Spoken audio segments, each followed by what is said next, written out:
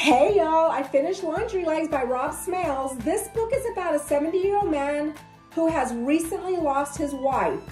He starts writing in her diary because he's questioning his sanity, which doesn't make any sense at all because his wife had been telling him for decades what's been going on in the house, and he's just chalked it up to, oh, they're just stories to keep the kids out from underfoot.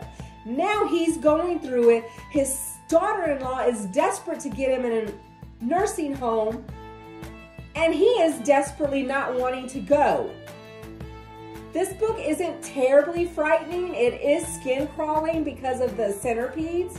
There is one horrific part in this book. Wow.